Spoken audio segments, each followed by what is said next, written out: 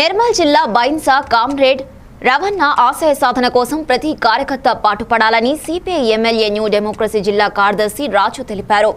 తెలంగాణ సాయుధ రైతాంగ పోరాటంలో ఆయన కుటుంబం భాగస్వామ్యమైందన్నారు. ఈ కార్యక్రమంలో పీఓడబ్ల్యూ జిల్లా కార్యదర్శి హరిత ఐఎఫ్టియు నాయకులు వెంకటనారాయణ పీడీఎస్యు జిల్లా కార్యదర్శి మహేందర్ పాల్గొన్నారు. ఆయనకు డెమోక్రసీ డివిజన్ కమిటీ ఆధ్వర్యంలో ఈరోజు నివాళులు అర్పించడం జరిగింది.